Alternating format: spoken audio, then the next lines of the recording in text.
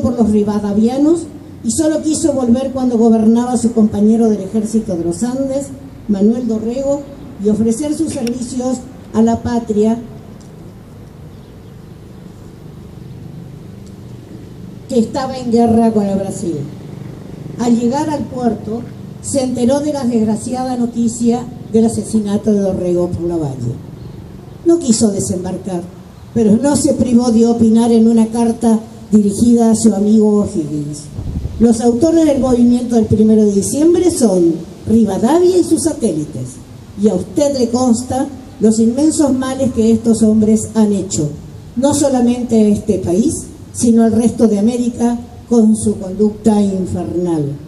Si mi alma fuese tan despreciable como las suyas, yo aprovecharía esta ocasión para vengarme de las persecuciones que mi honor ha sufrido de estos hombres.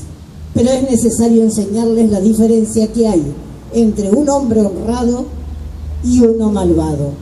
Volvió a Francia, donde años más tarde lo visitaría Sarmiento, dejando una notable semblanza de aquella entrevista. No lejos de la margen del Sena, vive olvidado don José de San Martín, el primero y el más noble de los emigrados.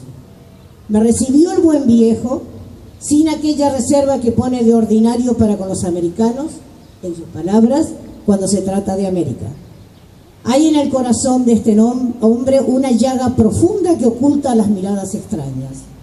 Ha esperado sin murmurar cerca de 30 años la justicia de aquella posteridad a quien apelaba en sus últimos momentos de vida política. El general estaba cansado y enfermo.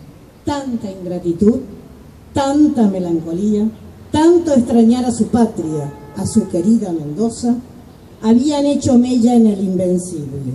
Sufría asma, reuma y úlceras y se había quedado ciego. Se fue dejando morir en silencio, no quería molestar. Fue lo que debía ser y antes que ser lo que no debía, prefirió no ser nada. Por eso vivirá en la inmortalidad. Muchas gracias.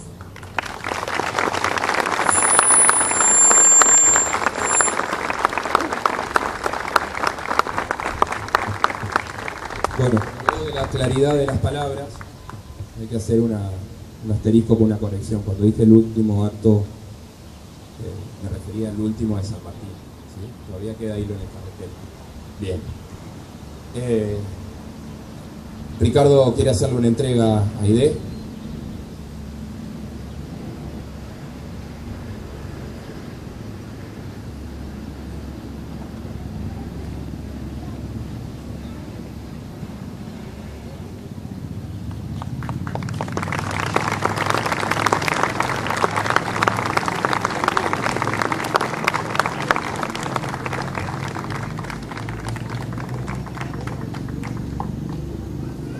Ya sobre las 15 horas, que según cuenta la historia, es el horario en que pasó a la inmortalidad José San Martín, vamos a hacer el arribo de bandera a media asta y el toque de silencio a cargo de otro alumno formado en la banda municipal, el trompetista Nahuel Indarte.